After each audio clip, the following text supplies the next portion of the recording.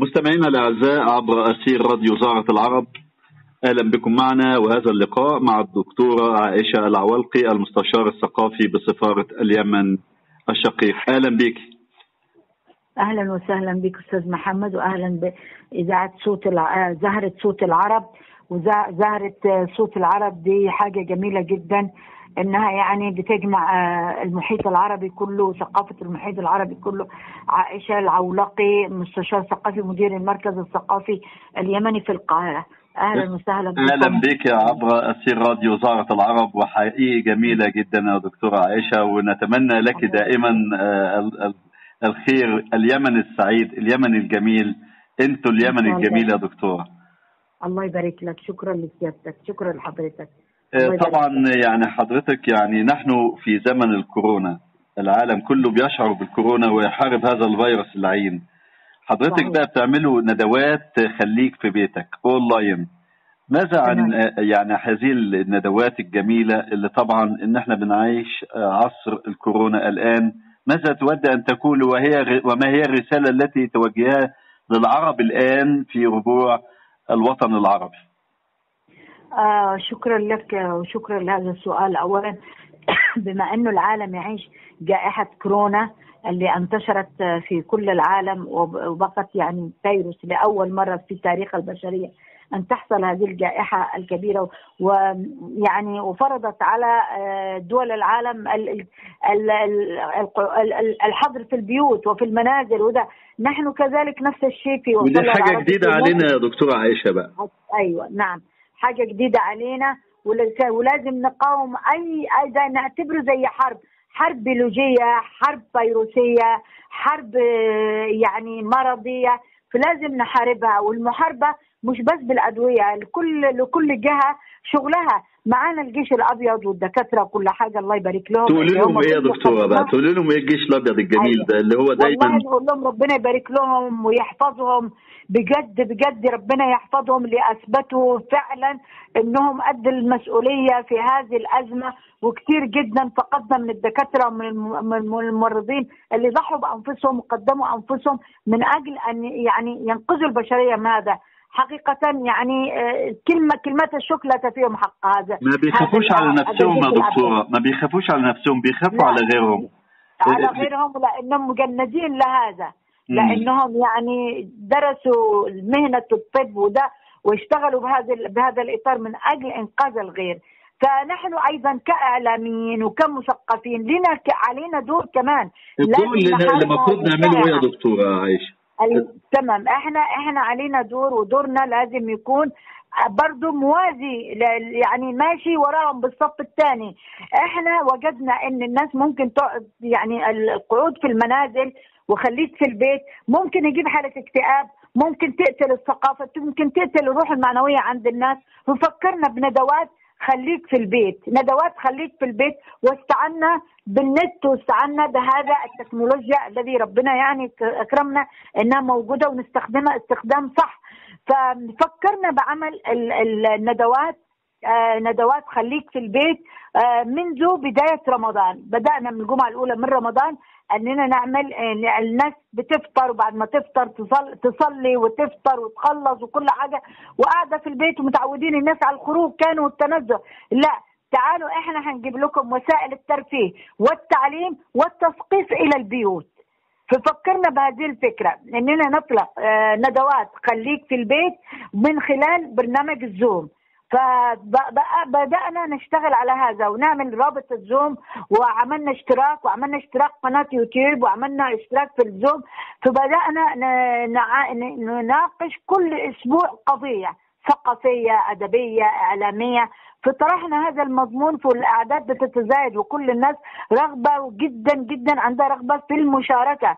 بهذا الحدث العظيم بهذا الحدث الكبير. فالحمد لله يعني اشتغلنا على الندوات دي. فبدات يعني الندوات تشتغل ندوات خليك في البيت. بعد ما من ما نتحاور ونطرح كل واحد يطرح ما عنده في هذه الندوات اللي هي على برنامج الزوم نقوم بعد كده بنقلها أو بثها من من خلال قناة اليوتيوب.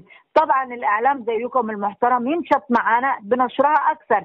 ونقوم بتوزيع هذا الرابط اللي هو رابط ال ال ال اليوتيوب على كل الجروبات وعلى الفيسبوك وعلى كل الأماكن الدنيا والتلفزيونات. وفي بعض التلفزيونات بتنقل كمان معانا وبتساهم بده.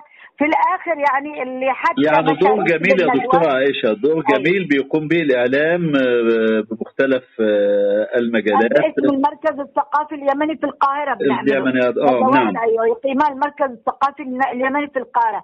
حتى اللي ما شاركش مثلا معانا بالندوة إحنا بنبعت له الرابط لبيته. بيتفرج وده على جميل. وأحييكم عبر سير راديو زهرة العرب إن في حب وتلاحم وفي آه، إن إحنا آه، يعني ربنا يزيل عنها عنا هذه الغمة. وطبعا آه، ربنا اراد إن إحنا يعني يكون في تواصل بيننا بعد ما كانش في تواصل آه، أصبحنا نعم. دلوقتي في تواصل عبر الأونلاين آه، في البيت. نعم. فبدأنا الحمد لله. الناس تفاعلت.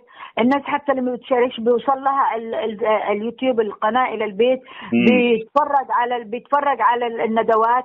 المهتمين بالثقافة بالإعلام بالدور الثقافي كده وشاركت وبعثنا كمان والجميل إنه في هذا الإطار في برنامج الزوم إنه بيشاركوا من كل الدول العربية وأجنبية معانا داخلين كمان الدول يعني الدول الأجنبية كمان مشاركة لا لأنهم عرب عرب هناك يعني عرب هناك. آه يعني مش آه، شرط أنا هناك. مثلا أنا ممكن لا. أفريقيا في أمريكا في إيطاليا في في في اي دولة أيوة من دول العالم شاركوا معانا من جنيف من فرنسا, فرنسا. من ألمانيا نعم. أيوه الدول العربية رايهم من إيه بقى. يعني في في المشاركة دي يا دكتورة يعني شايفين إيه يعني وهل يعني آه، بترسل بتوصل لهم الرسالة علشان إن إحنا آه،. ربنا يعديها علينا و- وربنا يحفظنا ويحفظ أسرنا ويحفظ آه، بلادنا. بلادنا مصر والدول العربية واليمن. وكل الدول. العربية والعالم كله. نتمنى يعني كل. الخير آه كل العالم. البشريه إن شاء الله بإذن الله. كلها. بالضبط. حتى الشباب الأيام دي أطلقوا شباب العالم بمنتدى شرم الشيخ مشكورين. أطلقوا أغنية سلام وتلاحم للعالم العربي كله وابني مشارك معاهم. فكانت برضو إيجابية جميلة إنه في تلاحم تلاحم عالمي. تلاحم عالمي. بيقول لك الشباب العالم بيقفوا الآن من أجل السلام من أجل محاربة الوباء من أجل محاربة أي شيء. فإحنا بنحارب الوباء كل واحد بيحارب الوباء بطريقته. إحنا مثلا يعني بنحيي الثقافة بنحيي الأدب واحيانا بيشاركوا معنا شباب في أغنية في مقطع في حاجة. جميل يعني جميل جدا يعني يا دكتوره والله. أفكار بتخش كل واحد يخش في فكرة معينة بطرح معين. مثلا ندوة الليلة دي اللي الجمعة آه. اللي إحنا في يونيو يعني النهارده 18 يونيو مم. آه، 2020 تمام. يعني كانت كانت الم- المشاركة كانت عنوان الندوة السلا... آه، التسامح والتعايش ودور الثقافة والفنون والإعلام في التسامح والتعايش كان كل واحد يحط وجهة نظر كيفية إننا التسامح والتعايش يا- حاجة جميلة أيوة. التسامح أيوة. لازم نبقى متسامحين ونتعايش أيوة. مع بعضنا لازم نتعايش مع بعضنا لازم التسامح لازم نن- ننشر فكرة التسامح حتى عند المتعنت ننشر له فكرة التسامح وإذا كانت الأغلبية اتجهت إلى التسامح كويس جدا إن الأقلية اللي هي بتفكر فكر غير غير غير سوي آه، هتنقرض هذه هذه الطبقة ال- القليلة. لكن إحنا بننشر قدر المستطاع. لازم ننشر عند الشباب وعند النشء وعند الك- الكل إنه إحنا فكرة التعايش والتس- والتسامح في كل بلاد العالم. في كل واحد مننا النهارده كان في فكرة بيجيب كيفية فكرة مثلا من إطلاق المهرجانات أو الأغنية أو الشعر أو الإعلام الإعلام يخفف عنا جرعة ال- ال- السياسة القوية جدا اللي بيديها لنا وخصوصا إحنا في هذه الفترة الصعبة يدينا جرعة التعايش جرعة السلام جرعة المحبة. جرعة الاخاء جرعة الفنون يدينا فنون جميلة على أساس إن إحنا نع... برضه يعني يكون في في تلاحم عالمي كل واحد يعرف ثقافة الآخر ويحيي ثقافة الآخر. الروح المعنوية جميلة جدا بتسهم أيضا برفع الروح المعنوية بالتصدي للفيروس بالتصدي شفت أنت بتقول إيه يا دكتوره الروح ال- الجميلة ب... ب... ب... الروح- يعني أيوه. الروح الجميلة بتعمل إيه في المعنوية، أيوة. الفيروس؟ بتنهي الفيروس. بت- بترفع الم...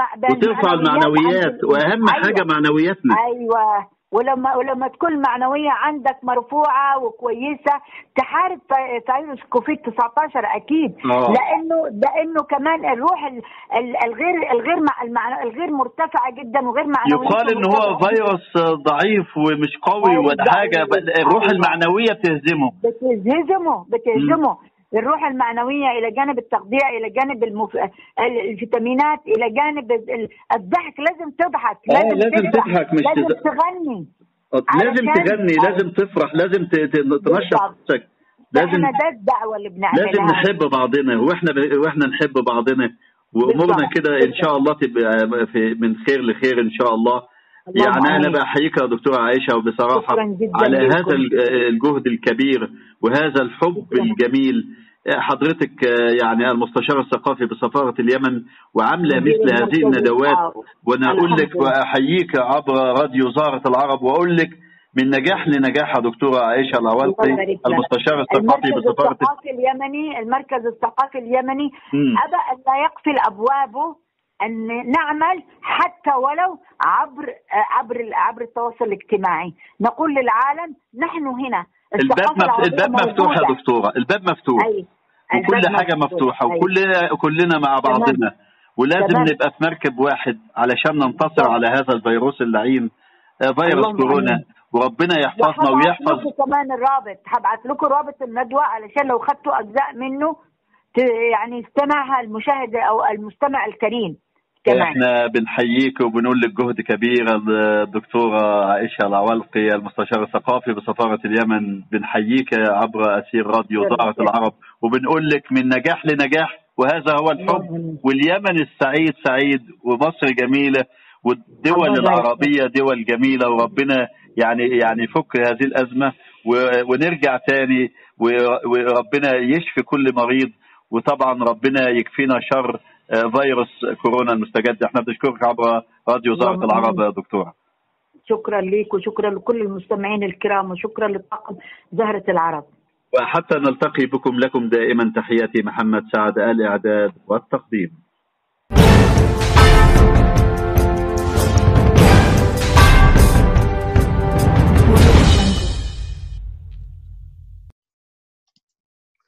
أهلا وسهلا ومرحبا بكم آه، كما عودناكم في كل مرة في ندوتنا هذه التي يقيمها المركز الثقافي اليمني وهي بعنوان آه، دور الثقافة والفنون والإعلام في م- ترسيخ مفهومي الت- آه، التعايش والتسامح.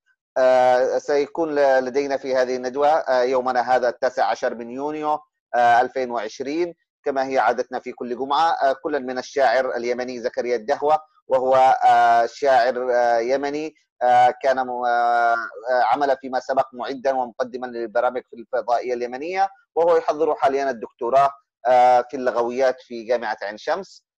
آه، لدينا أيضا آه، ال- الأستاذة عائشه مديرة المركز الثقافي اليمني وهي آه، من تنظم هذه الدورة آه، فاهلا بها. بالإضافة إلى لدينا أيضا الأستاذة رانيا الشامي وهي أيضا عاملة في آه، آه، في آه، وزارة الثقافة اليمنية مدير إدارة الثقافة اليمنية. وهي رائدة ال- ال- المهرجانات الثقافية آه، دائما. آه، لدينا أيضا الإعلامية آه، رانيا التوني وهي إعلامية مصرية معروفة بالإضافة إلى الأستاذ ناصر الباكري ال- المثقف ال- اليمني وال- والإعلامي المعروف. أهلا وسهلا بكم. سنعطي ال- الكلمة للأستاذة عائشه العولقي مدير المركز الثقافي اليمني. فلتتفضل. أرجو فتح الميكروفون أستاذة عائشه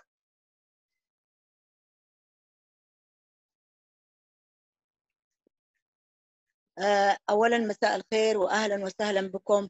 شرفتونا دائما في هذه الندوات الذي نقيمها أسبوعيا في يوم الجمعة. دائما أعتدنا قيامها منذ رمضان وكانت آه، ندوات ممتعة جدا وقد ناقشنا العديد من القضايا الهامة. آه، لم يعني لم لم نكتفي بالبقاء في المنازل مكتوفي الأيدي بسبب جائحة الكورونا. فنظرنا على أننا كيف نعمل من أجل أن نخرج للمجتمع بتوعية ثقافية وفنية وإعلامية وكل على كل مناحي الحياة. وكانت هذه الفكرة أننا نقيم هذه الندوات عبر الزوم عبر برنامج الزوم للنشر الثقافي والأدبي اليمني والمصري والعربي.